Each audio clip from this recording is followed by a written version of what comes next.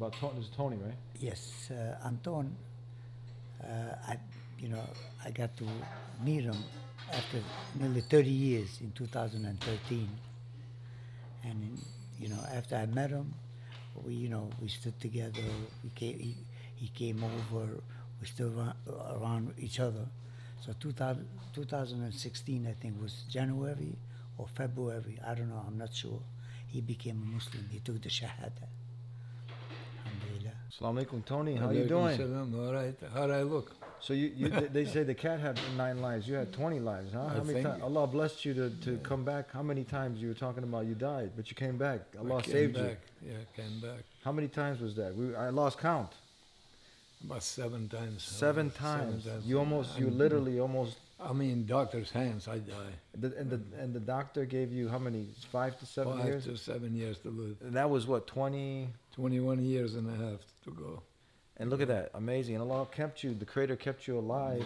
That recently, a few years ago, you actually, you accepted Yes, Islam, submission to the Creator, not the creation. yes. You accepted Islam. Tell us what was it at the end that ha- had you because you came from a background being Catholic, Christian, Albanian. Yes, Yeah. yes, And your your your family was also you was talking about their bishops or their yes. Yeah. So what was it about Well- Islam that well, finally had you I, accept it? uh, I grew up since I was a kid. I grew up with my friends, Muslims. And all my friends are Muslims. And then after I grew up, I escaped to Italy, you know, there hanging out with Muslims all the time, you know, and then United States. And then I decided, you know, to become Muslim with uh, Sami's house there. I decided. And since then, I've been the same. Done, done my religion, in other words, the Muslim. Yeah, many people don't know when you accept Islam, you're following the way of Jesus, the way of Moses, the way of Abraham. They all did Islam. They submitted their will to the Creator. So it's coming back, we say, to the natural way, the natural way of man. Not worshiping a stick, a stone, a bone, a man, a woman, nothing in creation, but to the Creator. So you came back to the natural way. Yes. Yeah. What advice do you have for other people out there who are kind of stuck between two worlds, right? And they're holding off. There's this strong nationalism, right? And they're following blindly what their forefathers did, and you know, but to break through and they see you now, and maybe they can get some encouragement. What advice do you have to for them? Oh. Well, I, I, I, I was lucky because all my friends were Muslims and all that. But what I, what I, the advice I give them, you know, get friendly, go to mosque, you know, believe in Allah, and uh, good luck to them. You know? Yeah, beautiful, beautiful. Make, make, make the human connection. Sammy, what advice do you give? Because you were the person that helped to facilitate Allah through you, helped to guide him. What, what, what advice do you give for others who are kind of stuck, you know, in between those two worlds and they have all these misconceptions? Islam is this and that. As Muslims are terrorists. All the other hype that's out there. What advice do you give for the people? Yeah, I really advise uh, everyone to uh, really look for themselves and uh, s- open up a Quran, open up a book about Islam, introduction to Islam, and just uh, just go in yourself and ask questions of those who know about Islam, and not what the media tells you, because Islam is a way of life, all people, all times, and all places, and it's very simple.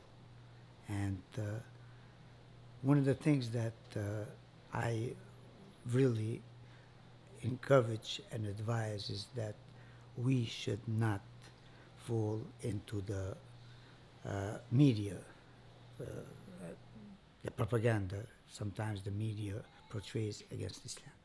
Thank you for sharing that with us. And thank you, Tony. Thank you.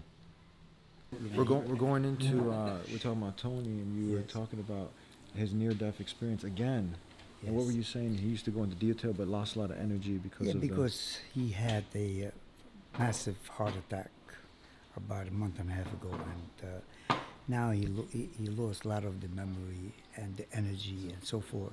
But he used to go into detail why he, he accepted Islam, and he would say that he never felt more comfortable when he was around Muslims. They treated him like a brother. They treated him with utmost respect. Never, never, at no time that he remembered that he was uh, put aside because he was from a different faith or otherwise. He always felt at home with them more than with their own Christians and so forth.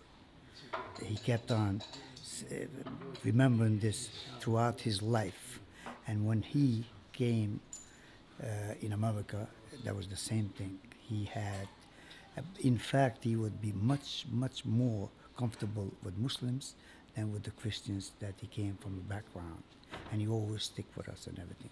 And, uh, and when I met him in 2013, everything came back to him and he was like a new life was given to him. He felt uh, he found his family again because he was for a long time by himself here in Florida from two, 2000 and, uh, no from 1995 I think until 2013. So when I met him, then you know he kind of really all that came back to him, and he says the only thing I'm going to have to do is to tell you that I must accept Islam, and that's when he took Islam in 2016 in the beginning, I think January, February, and. Uh,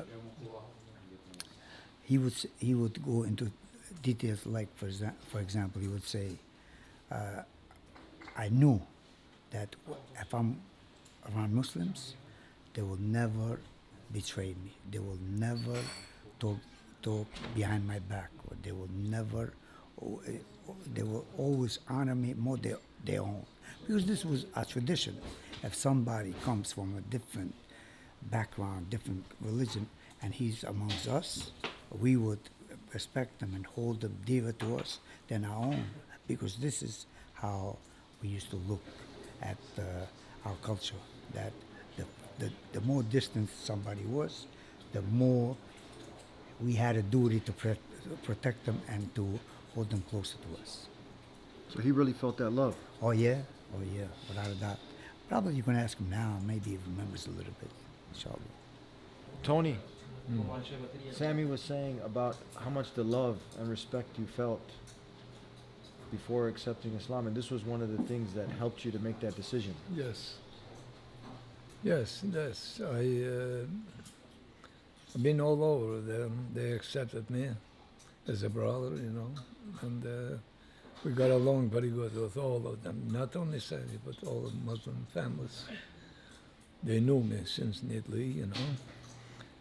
And then I felt, you know, I uh, must do something. So what I did, you know, I decided in his house, you know, to change my religion.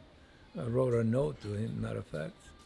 I told him, you know, I'd like to become Muslim, you know, and uh, that's what I did. I Did- became a Muslim. Did anybody force you? Did No, anybody- no, nobody forced me. Nobody, nobody mentioned anything. He just, I voluntarily told him. You know, you know.